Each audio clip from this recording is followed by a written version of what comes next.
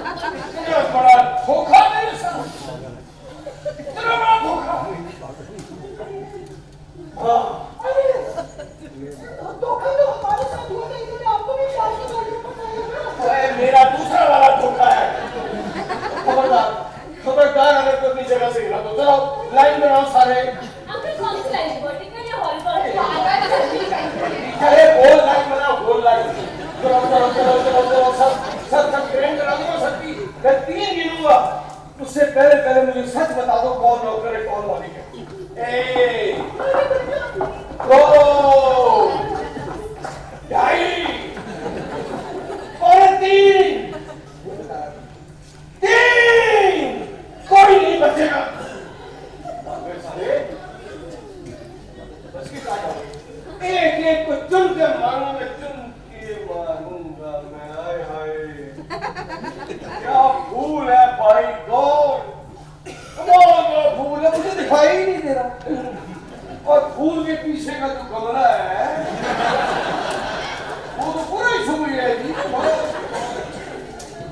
Ruhe!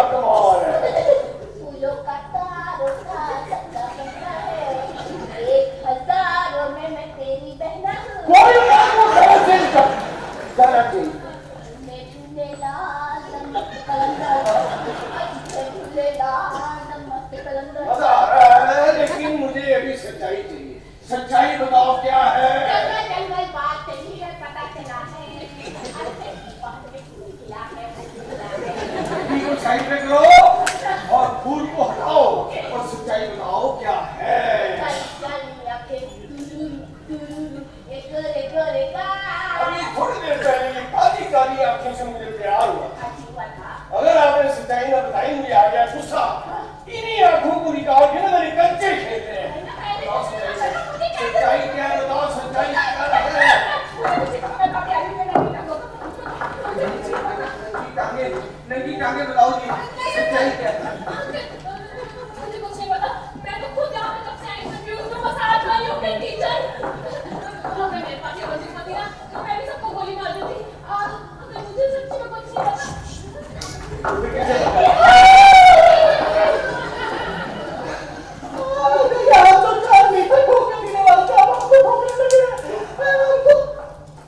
Skype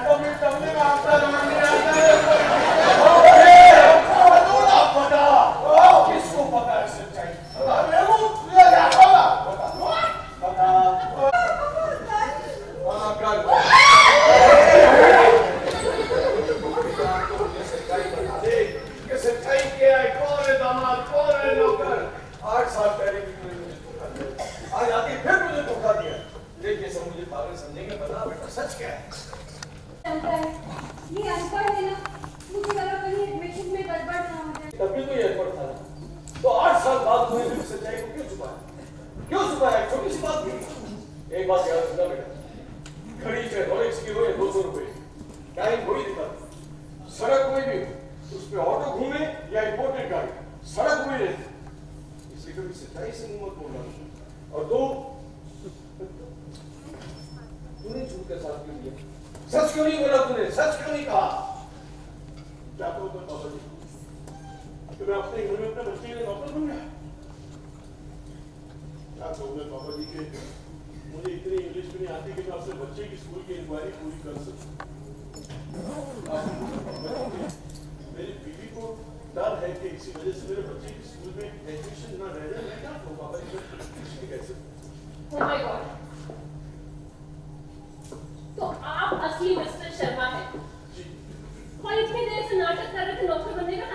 कि admission का हो सके।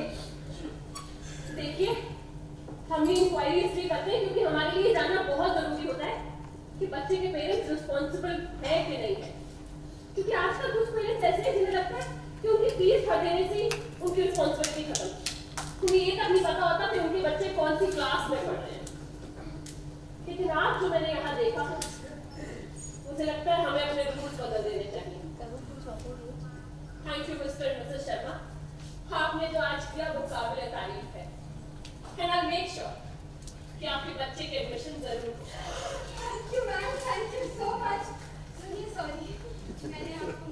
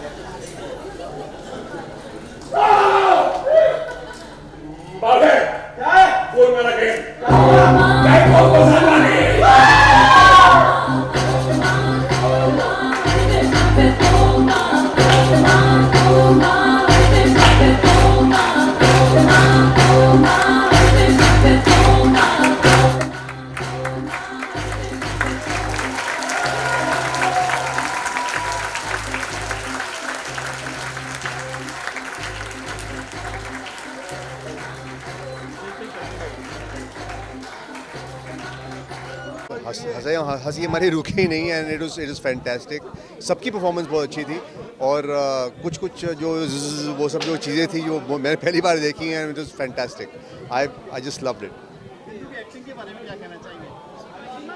Bindu को मैं एक्चुअली बचपन से जानता हूँ और आज इसको मैंने पहली बार एक्चुअली मंच पे देखा and it was huge surprise and it was it was so wonderful to see my old friend performing so brilliantly and so beautiful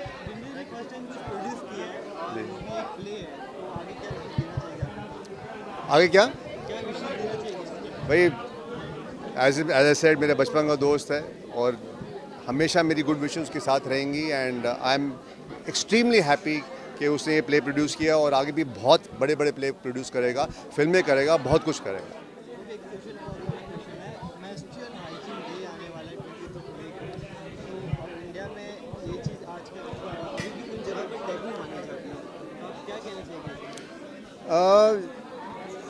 I think इस इस ये जैसे आप अभी इस, इसका प्रचार कर रहे हैं ऐसा प्रचार बहुत ज़रूरी है।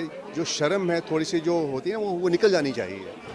घरों में बात होनी चाहिए इस चीज़ की और ये जैसे प्रचार होते जाएगा गवर्नमेंट कर रही है हम फ़िल्म इंडस्ट्री अपनी तरीके से कर रही है तो ये जिस तरह आप अभी प्रेस कर रही है सो आई थिंक ये ऐसे ही आहिस्ता आहिस्ता ये चीज़ें टैबू नहीं रहेंगी एक टाइम आएगा।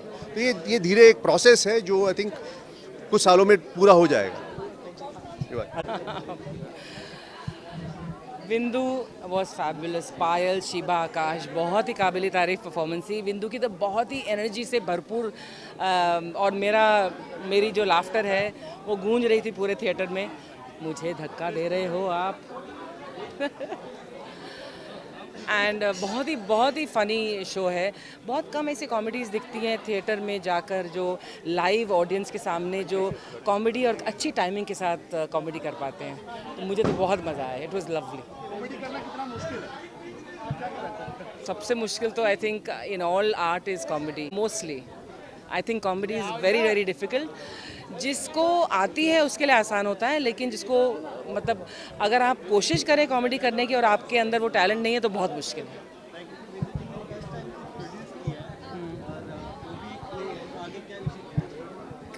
Vindu should produce more plays because I think उनको वो uh, एक होता है ना नव्स पर uh, उंगली उनकी सही पड़ी है कि उनको पता है कि क्या कैसी स्क्रिप्ट होनी चाहिए कैसी स्क्रिप्ट को बैक करना चाहिए कैसी uh, कैसे प्ले को प्रोड्यूस करना चाहिए। I think he is done a fabulous job producer is very important for for for theatre में जो प्ले होते हैं and Vindu has done he is produced it and he is acted in it I think बहुत बहुत wonderful job he is done he is too funny twenty of May को menstruation hygiene day है और India में आजकल कुछ आजकल भी कुछ जगह पर इस चीज़ को टैबू माना जाता है। तो आपका क्या विचार है इस चीज़ यानी कि पैडमैन के बाद जो हम्म तो आप क्या कहना चाहेंगे मैं कुछ कुछ एक दो हफ़्ते पहले अक्षय कुमार के साथ शूटिंग कर रही थी एक एड फ़िल्म के लिए तो मैंने उनको ये बोला कि आपने एक ऐसा दरवाज़ा खोला है हमारे देश में जो एक सब्जेक्ट इतना टैबू था मंथली पीरियड साइकिल और आपने उस दरवाजे को खोलकर इतना ज़्यादा एक बहुत बड़ी पब्लिक सर्विस की है। ये सोशल कॉज जो उन्होंने शुरू किया है इट हैज़ जो टैबू सब्जेक्ट था, अब एक्चुअली लोगों की ज़बान पर आ रहा है। और आज मीडिया वाले ये सवाल पूछ रहे हैं, वरना मीडिया वाले भी सवाल नहीं पूछते। So hats off to Akshay and Twinkle for opening this subject and ये बहुत ही इम्पोर्टेंट बहुत ही इम्पोर्टेंट सब्जेक्ट है जिसे टैबू नहीं माना जाना चाहिए। Well I I can only say that India is a country जहाँ पर uh, इतनी तादाद में जहाँ पर औरतें हैं महिलाएँ हैं तो उनको ये रिस्पेक्ट मिलनी चाहिए कि उनके जो शारीरिक जो भी इश्यूज़ हैं उनको नज़रअंदाज ना करते हुए उन पर हमें uh, अगर ऐसा एक नेशनल डे है वर्ल्ड डे है right world day so I think it is something that we should all respect and respect women because they give us life. बहुत बढ़िया बहुत बढ़िया। बहुत अच्छा लगा। बहुत सब सब सबका काम अच्छा था। बिंदु जी सब सब। राजपुरी जी हमारे आकाशदीप जी शिवा जी। वेरी नाइस और दूसरे भी आर्टिस्ट हमारे। गोगा कपूर जी की बेटिया मैं नाम भूल रहूँगा क्या नाम है गोगा जी की बेटी सिमा कपूर ना? पायल पायल पायल। पायल और टीचर भी बहुत अच्छी सब अच्छे हैं। सब बढ़िया।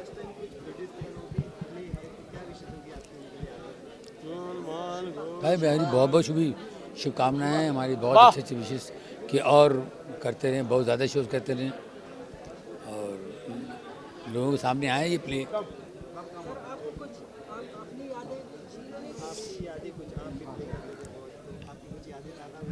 नहीं मैं प्ले कभी ज़्यादा नहीं किया मैं तो प्ले देखता हूँ। ये मेरे लिए बहुत मुश्किल काम है। प्ले नहीं किया मैं अपना स्टेज पे करता हूँ स्टैंड अप वो अलग है। प्ले अलग होता है ये बहुत मुश्किल काम करते हैं। ये काम मैं नहीं कर सकता। बहुत अच्छा कर रहे हैं लोग।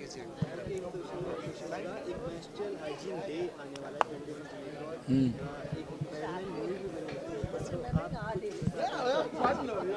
मैं समझा नहीं क्या बोल? हाँ।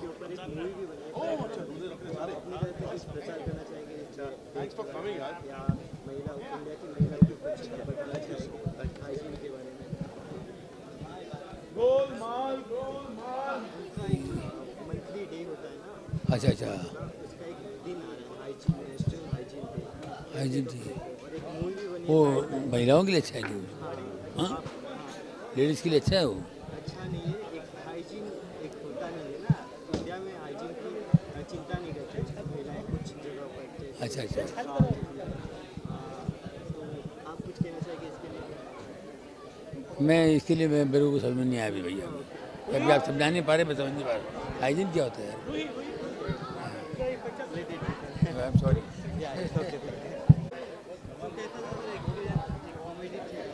माइंड ब्लोइंग हमने पहला शो किया था, सबको पसंद आया, लेकिन हमें पसंद नहीं आया था। तो हमने बहुत चेंजेस किए और उसको मतलब जो बोलते हैं ऊपर से नीचे कर दिया। और अब हमने जो शो किया, हमें भी पसंद आया। जब इंसान टिकट खरीद के आता है प्ले में थिएटर में देखने तो वो उसका वैल्यू बननी चाहिए। और मुझे लगता है, गोलमाल द प्ले एक एक पैसे की वैल्यू देता है तो अब ये सुपर हिट शो बनेगा। वही आप तभी प्रोड्यूस कर सकते हो जब आप में वो चीज़ के अंदर आपका विश्वास हो तो मुझे विश्वास था कि ये चलेगा, और अब मैं श्योर हूँ कि ये चलेगा। वो देखेंगे, हमारे डैडी की पिक्चर आनी है मेन तो डैडी की पिक्चर आनी है, जब वो आएगी वो मेन है हमारा, लेकिन ये शो बहुत मज़ा आया हमें। हमारा दिल खुश हो गया, गोलमाल द प्ले अब पूरी दुनिया में जाए, सब लोग देखें और इतना ही प्यार दें। ऐसा रिएक्शन मुझे तो कभी आज तक ज़िंदगी में मिला नहीं थिएटर में पहली बार मिला है। तो बहुत खुशी है जब अपने सच बताते हैं और मेरी बीवी सबसे ज़्यादा डेंजरस क्रिटिक है उसको पसंद आ गया तो मतलब हमने फतेह हासिल कर ली। हाँ? हम्म, चलो। हाँ हाँ। देखो आप अक्षय कुमार की पिक्चरें हमेशा बहुत ही बढ़िया बनाते हैं, वो कुछ ना कुछ सीख देते हैं। जैसे हमने यहाँ सीख दी कि बच्चों की एडमिशन के लिए ज़्यादा परेशानी नहीं होनी चाहिए पेरेंट्स को तो I am sure Pad Man will be fantastic और नेचुरल हमने मोदी जी का भी बहुत डाला है कि भैया हाइजीन और हेल्थ और जो वो कर रहे हैं आजकल वेल डन वेल डन भाई, मज़ा आ गया। हाँ। बहुत बस अभी अभी गोलमाल देख के आए हैं बहुत बहुत मज़ा आया। Akash Shiba Bindu and rest of the crew Payal every one super बहुत मज़ा आया और हँसते रहिए।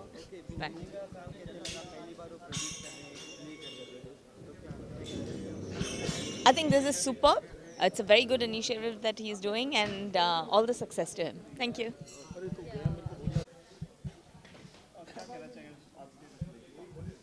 बहुत सारा गोलमाल है, बहुत सारी मस्ती है, बहुत सारा धमाल है। हम सब एक्टर्स आपस में बहुत, हमारी ट्यूनिंग है, हम बहुत ज़्यादा इन्जॉय करते हैं। आधे टाइम तो हम खुद एक्ट करते करते हंस पड़ते हैं। So it's just lot of fun बहुत मुश्किल होता है बिकॉज़ सबका सेंस ऑफ़ ह्यूमर अलग होता है तो हर शो जब हम करते हैं, हमको पता नहीं कि हमारा लाफ्टर कहाँ आने वाला है। सम प्लेसेस हमको एंटिसिपेट होता है कि डेफिनेटली यहाँ लाफ्टर आएगा। बट सम नए नए हर शो में हमको डिस्कवर होता है कि कोई नई चीज़ लोगों को अच्छी लगी। So that's fun of doing live acting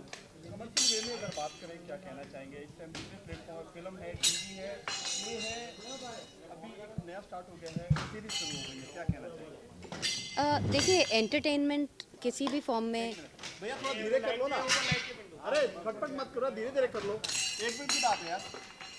hello एक मिनट। हाँ मालूम है क्या कहना करें। कमर्शियली देखिए entertainment is the main thing हमारे कंट्री में या कोई भी कंट्री में entertainment is the biggest part of anybody's extracurricular activities और जब आदमी काम से थका हुआ आता है तो एक कमर्शियल मज़ेदार कोई चीज़ देखने मिले whether it is cinema whether it is TV whether it is live I think लोग बहुत पसंद करते हैं हंसना, हंसाना एंजॉय करना। तो ये बिंदु और मेरा second play as actors together है and first time he is a producer and he is one of the best producers जिसके साथ मैंने काम किया है। बहुत दिलेर हैं, हर चीज़ प्रोवाइड करते हैं।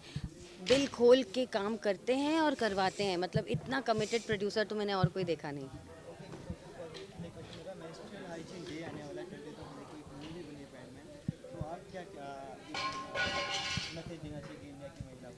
कि इसमें कोई शर्म की बात है नहीं, ये एक नेचुरल प्रोसेस है and we should not hide and we should not consider it dirty and पुराने ख्याल बदलो और नए दौर के साथ चलो, नई जनरेशन को बताओ। कि ये एक नॉर्मल औरत होने की निशानी है, इसमें कुछ भी ख़राब नहीं है।